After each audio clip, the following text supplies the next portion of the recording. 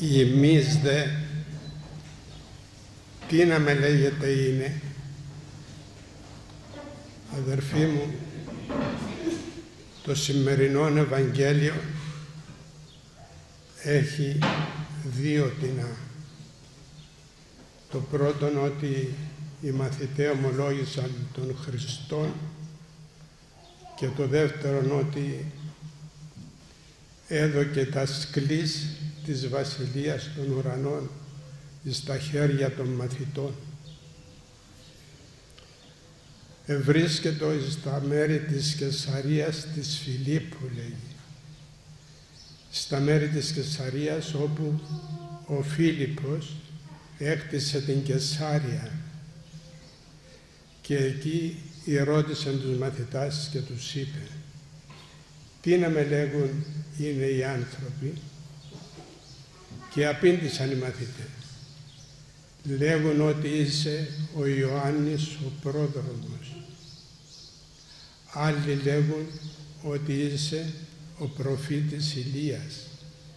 Άλλοι λέγουν ότι είσαι ο προφήτης Ιερεμίας ή ένας εκ των προφητών. Και τότε ο Κύριος μας απήντησε. «Εμείς δε τι λέγεται είναι» εσείς από εσάς περιμένω λέει να μου πείτε ποιος είναι. Ο κόσμος λέγει πολλά. Ο κόσμος λέει εκείνα τα οποία δεν καταλαβαίνει. Ο κόσμος λέει εκείνα τα οποία είναι περιτά εις τούτον τον κόσμο. Αδερφοί μου τη στιγμή εκείνη ο Απόστολος Πέτρος ύψωσε την φωνή του. Ήταν ο Απόστολος ο οποίος ήταν πάντοτε έτοιμος να απαντήσει εκ μέρους των μαθητών. Κύριε του λέγει, εμείς λέγουμε ότι είσαι ο Υιός του Θεού, του ζώντος. Ζών ο Θεός. Δεν είσαι Υιός των ειδόλων, τα οποία είναι άψυχα. Είσαι ο Υιός του Θεού, τους ζώντος, που ζει, που υπάρχει, που βλέπει, που κρίνει, που ανταμείβει, που τιμωρεί. Σύ είσαι ο Υιός του Θεού, τους ζώντος. Εκείνη τη στιγμή ο Κύριος μας στον αυθόρμητον Πέτρον του είπε «Παιδί μου» του λέγει «Σίμων βαριονά, ιέ του Ιωνά». Δεν σου το απεκάλυψε αυτό άνθρωπος, αλλά ο πατήρ μου ο Επουράνιος. Εκείνος σου το αποκάλυψε. Και εσύ ή Πέτρος και επί αυτήν την πέτρα οικοδομήσω την Εκκλησία. Πάνω σε αυτήν την πέτρα θα οικοδομήσω την Εκκλησία μου και πύλη άδου που κατησχίσουν αυτής. Όσοι κι αν την κυνηγήσουν την Εκκλησία μου, όσοι κι αν την καταδιώξουν την Εκκλησία μου, δεν πρόκειται ποτέ να αρθοποδήσουν, ούτε να νικήσουν. Και τούτο είναι ένα παράδειγμα για τους αγαρινούς, οι οποίοι επί 7 ολοκλήρους αιώνας κατεδίωξαν τον Χριστόν μας, εκρέμασαν πατριάρχας, εκρέμασαν αρχιερείς, εκρέμασαν μοναχούς, εκρέμασαν πιστούς στον Θεό. Επί 7 ολοκλήρους αιώνας, αιώνας επολέμησαν τον Χριστό να τον εξαφανίσουν. Και το τέλος θα είναι να εξαφανιστούν αυτοί και να κερδίσει ο Θεός μας.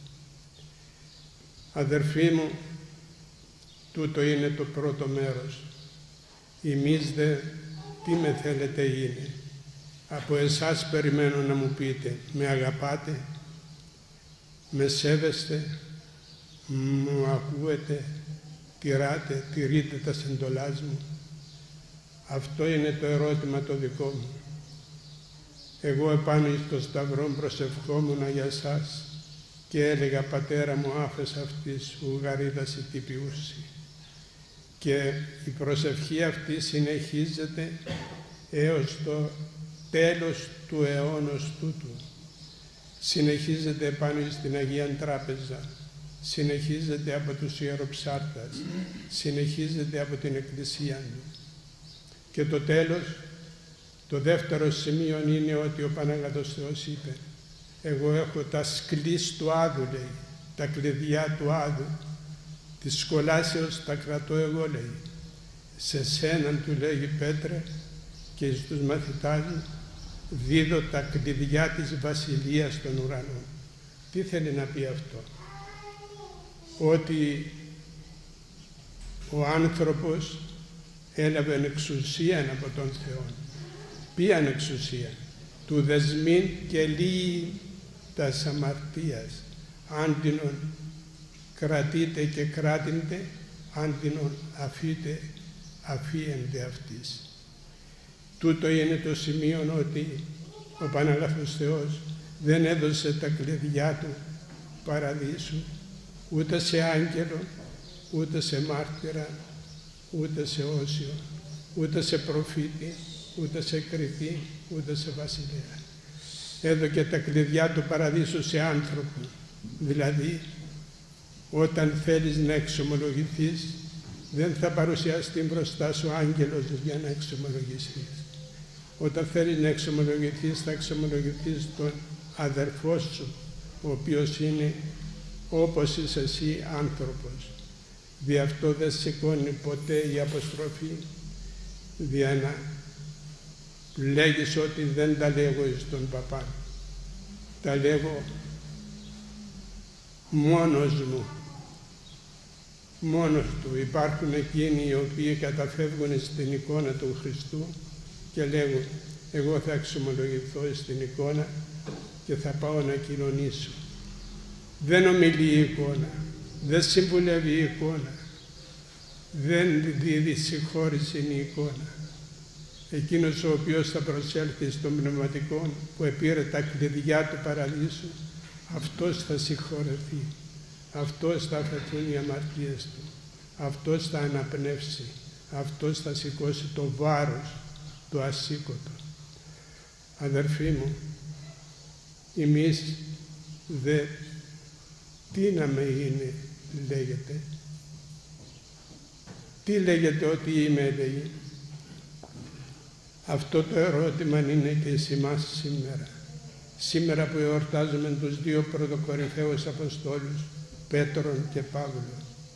Ο Πέτρος, ο αυθόρμητος μαθητής του Κυρίου του είπε όταν ο Κύριος τους εφανέρωσε ότι θα οδηγηθεί στον θάνατο ο αυθόρμητος Πέτρος είπε εγώ θα είμαι μαζί σου και στον θάνατο και τότε ο Κύριος τι του είπε μην μιλάς λόγια μεγάλα Πέτρε. Για σένα ναι προσευχήθηκα να μην σε εγκαταλείψει η χάρις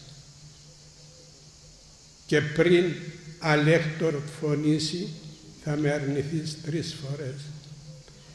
Και όντως λέγουν οι πατέρες της Εκκλησίας ότι ο Πέτρος από εκείνη τη στιγμή μόλις ήκουε τον κόκορα να φωνάζει ελούζεται στα κλάματα και μου το είπε ο διδάσκαλος μου σε όλη του τη ζωή έτρεχαν τα δάκρυα από τους οφθαλμούς του.